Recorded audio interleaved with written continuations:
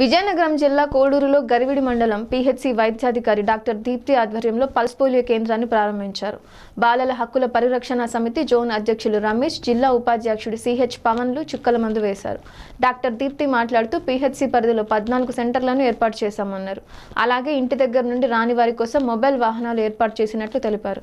ఈ కార్యక్రమంలో సత్యం నాయుడు ఏఎన్ఎంలు మంగ బంగారమ్మ పాల్గొన్నారు.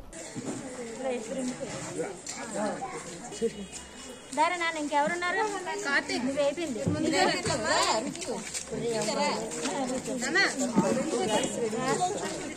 ట్రాన్స్పోర్ట్ పాయింట్ అనేది కూడా ఈ పద్నాలుగు సెంటర్స్తో సెంటర్స్తో కలిపి ట్రాన్స్పోర్ట్ పాయింట్ ఉంటుంది. అది ఏంటంటే ఒక వెహికల్ని మనము రన్ చేస్తుంటే ఎక్కడైనా మిస్ అయితే ఆ పిల్లలకు కూడా వేయడం జరుగుతుంది.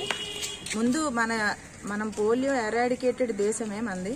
కాకపోతే ఏంటంటే ఎక్కడో ఒక దగ్గర అక్యూట్ ఫ్లాసిడ్ పెరాలసిస్ అని అంటాం పోలియో అంటే ఆ పెరాలసిస్ని అలా అంటాం. ఆ కేసెస్ ఎక్కడో దగ్గర మనకి నైబర్ కంట్రీస్లో ఉన్నాయి.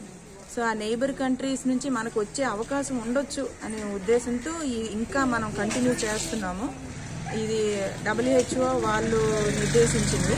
సో మనం ఎప్పటికీ మనకి అక్యూట్ ప్లాసిడ్ పారాలసిస్ అనే కేసులు ఎప్పటికీ నోట్ అవ్వకూడదని మా ఎక్కడో దగ్గర పోలియో రహిత చేయాలి కాబట్టి సమ్ పారాలసిస్ కేసెస్ ఎక్కడో దగ్గర నోట్ అవుతున్నాయి.